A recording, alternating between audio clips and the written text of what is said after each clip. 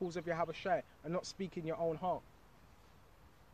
What you feel, how you feel, why you feel that way. Right? Put off the former conversation because we had a former conversation. I know my former conversation. Was it back in the world? Was there certain things I was talking about with the spiritual? Yeah, but it wasn't as spiritual because your mind wasn't really geared, geared, geared towards the truth like that. Right? Which is corrupt according to the deceitful lust. So, our old conversation, it was according to the deceitful lust, the old man, what the old man wanted to do. And be renewed in the spirit of your mind. Right? That's what we're to do. Be renewed in the spirit of Yahweh Abishai. The spirit of your mind. See, so the Yahweh was always teaching that your mind, not the outwardly, not just coming to camp and looking the part, acting like you're the part, right?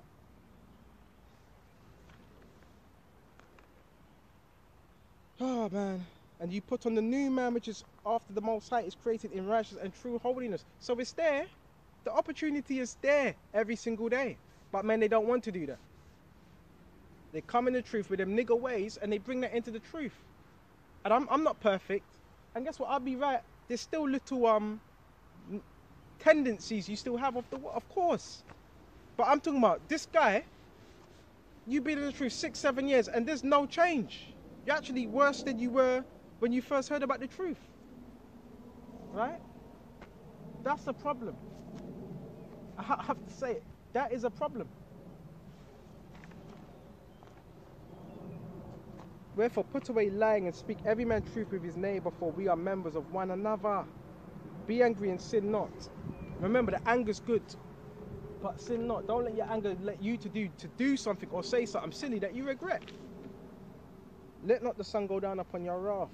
In other words, don't let it go down to the next day, and you're still feeling that same way, right? So this is all what exercise of what the spirit.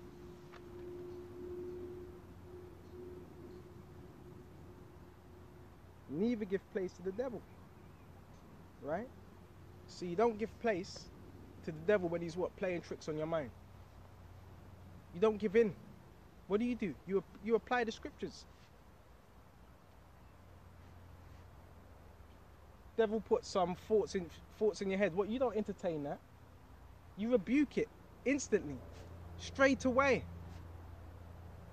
The certain men they never done that.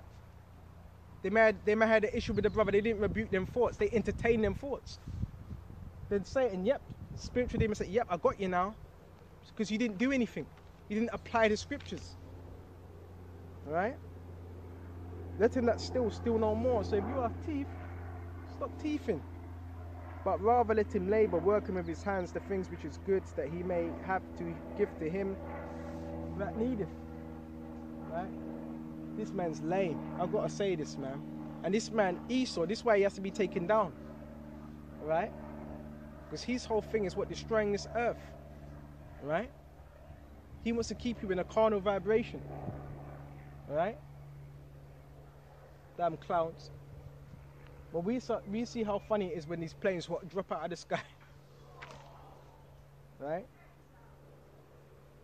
Wherefore it says, let him steal no more, but rather let him labor, work with his hands that which is good, the thing which is good that he may give to him that needed. So that's the main thing. Right? Working with your own hands, laboring spiritually first. Right? Because that's the key thing. Right? Laboring spiritually. Right? And it says again, same thing it's the same thing. Let, right, no corrupt communication, no corrupt. So you don't let any false doctrines come out of thy mouth. Right? But that which, okay, is good to the use of what edifying. So everything we're doing, it should be for the course of edifying. And what does edify mean? To be built up right? That it may minister grace unto the hearers. So the main thing, what you're getting of this, is grace. right? To the hearers.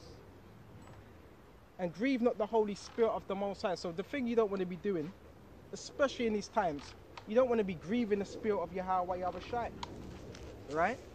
Because this right now is a grace period. So if you're grieving the Spirit, guess what? Yahweh's going to get pissed off with you. You go past this up. Ain't how many This is a uh, grace period. So we use this grace to get what? Better. Right? So you can be deemed acceptable in the eyes of Yahawah Yahawashi. And it says, we going to shut off. We are still to the day of redemption. They're all bitterness, wrath, anger, and clamor, and evil speaking. And the scriptures talk about don't speak evil of your brother. Especially if you know he's on that right path. He's, he's not he's not breaking the laws, he's doing what he's supposed to be doing. Right?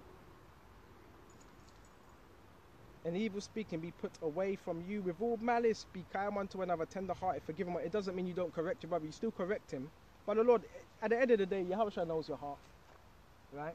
He knows your intentions, right? And forgive one another as much as also have forgiven you. So just apply the scriptures, right? So with this one, I hope this is edifying. And on to the next one, Shalom.